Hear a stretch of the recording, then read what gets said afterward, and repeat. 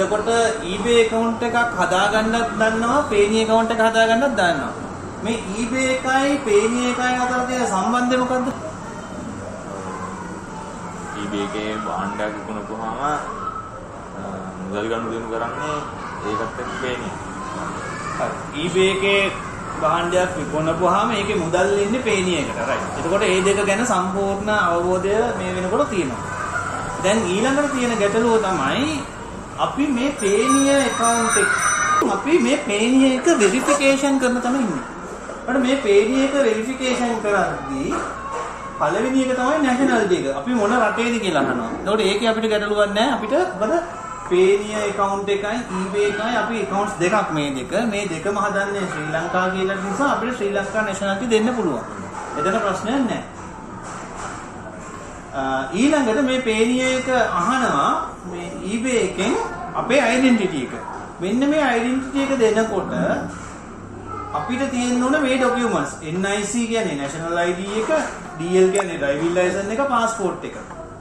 අපිට මේ driving license එක කියන්නේ හුඟක් වෙලාවට අපිට NIC එක අපිට අලුත් NIC එක නම් ඉංග්‍රීසි වලින් තියෙනවා නම් මේක ගන්න පුළුවන්. එහෙම නැත්නම් අපිට තියෙන්නේ driving license එක. මේ driving license එක passport එක ගන්න පුළුවන්. එතකොට ඊළඟට අහන එක තමයි මේ driving license එක විතරක් මදි අපිට ඒකත් එක්ක අපේ address verification එකක් අහනවා. මේ address verification එකේදී අපෙන් අහනවා utility bill. utility bill එහෙම නැත්නම් bank statement. එතකොට මෙන්න මේ දෙකේ තියෙන address දෙක සමාන නම් අපිට 100 100ක්ම සමාන වුණාට ප්‍රශ්නයක් නැහැ. හැබැයි 100 90ක් විතරම. ඒ කියන්නේ ඇඩ්‍රස් එක උගක් කරලා සමාන නම් ගොඩක්ම හොඳයි. ඒ කියන්නේ සමහරක් තැනක A අකුර වෙනකොට B අකුර තියෙන්න පුළුවන්. අන්න ඒ වගේ සුළු සුළු වෙනස්කම් තියෙන්න පුළුවන්. ඇඩ්‍රස් එකක් යනකොට දුන්න ඇඩ්‍රස් එකේ අංකයක් තියෙනවා. ඇඩ්‍රස් එකක් යනකොට ඇඩ්‍රස් එකේ නම්බර් කියලා එකක් තියෙනවා. නම්බර් තියෙනවා. ඊළඟට ස්ට්‍රීට් කියලා එකක් තියෙනවා. ඊළඟට සිටි තියෙනවා. අ ඔන්න ඒ තුන තියෙනවා. නම්බර් ස්ට්‍රීට් සිටි ඊළඟට ප්‍රොවින්ස් කියලා දීලා this a country country මෙන්න මේ වගේ කොටස් හතරක් පහක් විතර තියෙනවා. මේකෙන් හුඟක් කරලා මේ ටික අනිවාර්යෙන් මේ දෙකේ මේ දෙකේම සමාන වෙන්න ඕන. ඒ කියන්නේ මේ දෙක මේ දෙක නෙමෙයි අතන මෙන්න මේකත් එක්කම.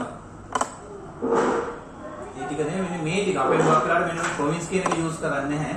කන්ට්‍රි කියන එක අපි මෙතනින් කන්ට්‍රි එකක් දාලා තියෙනවා. ඒකට අපේ ඉතුරු වෙන්නේ මෙන්න මේ දෙක. මේ දෙක අනිවාර්යෙන්ම සමාන වෙන්න ඕන මේ දෙකේ. ඔය දෙක අනිවාර්යෙන්ම සමාන වෙන්න ඕන. ඔය දෙක වෙනස් වුණොත් අපිට මොකද අපි නෙමෙයි වෙරිෆයි කරන්නේ. අපි නෙමෙයි වෙරිෆයි කරන්නේ. එහෙන් වෙරිෆයි කරන්නේ.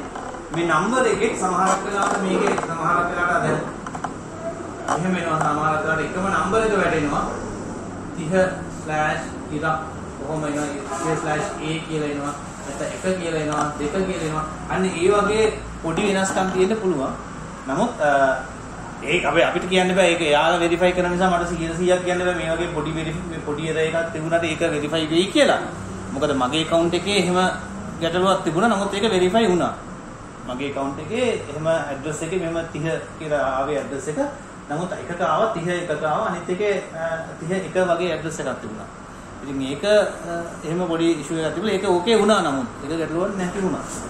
මේ කියන්නේ මම දුන්නේ ලයිට් බිල.